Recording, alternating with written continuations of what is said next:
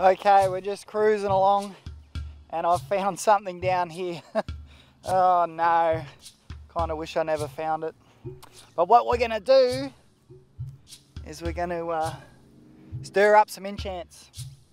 Now there's a nest just down in here and they're always ready to defend their nests.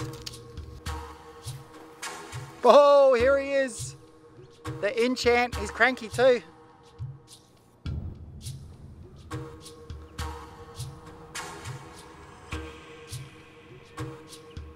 So these are Australia's version of the bullet ant, pretty much.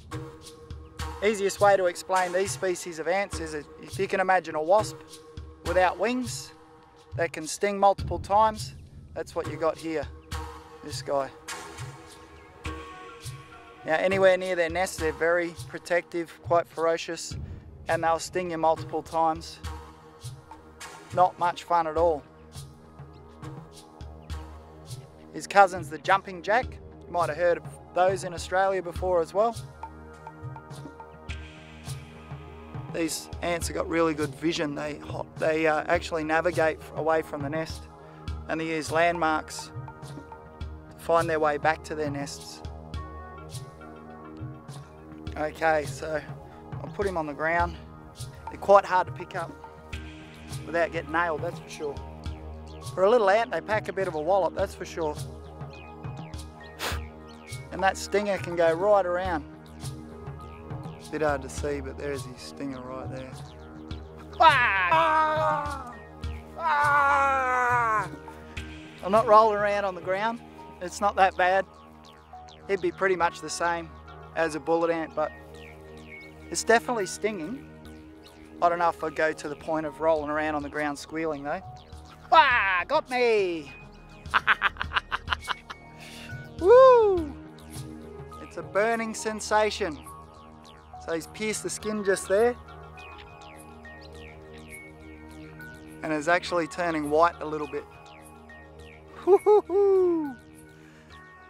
I don't know if I'd say it's as bad as a bee sting, but it's, it's pretty close. It's continuing on.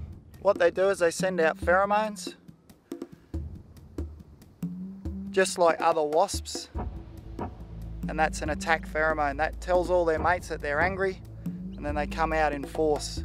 So generally with wasps and ants, it's the ones that fly around with their buddies are the ones to watch out for when you get the wasps that just fly around by themselves, they're the, usually the potter wasps and stuff, they're not much to worry about. But when they've got mates and they have a hive or a nest, that's when they're trouble.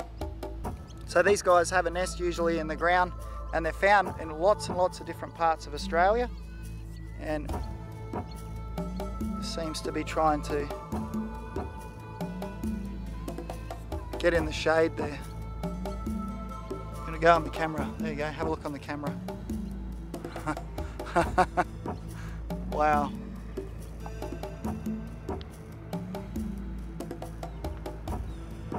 Another one here. Oh, where did he go, that one?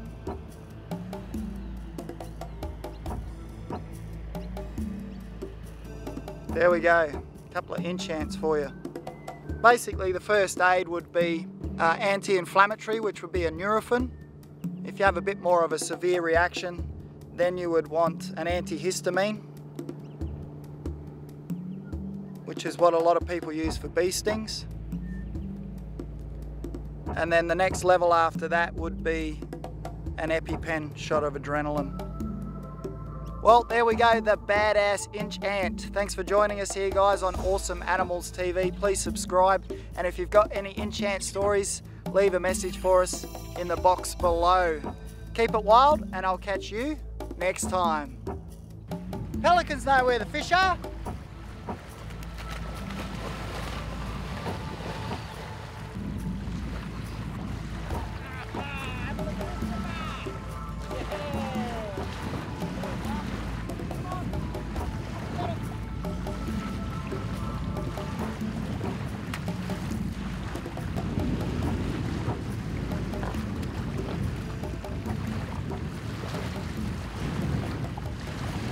Ah, just like that, whole carp gone. This is a formidable beast. Whenever you're in the presence with one of these snakes, I'll tell you what, they've got an aura about them. They're just amazing. So thanks for joining us. My name's Corey Wild and what we're going to bring to you is awesome and beautiful animals from all over the world, like this guy here. So stay tuned and subscribe. Keep it wild. I'll catch you next time.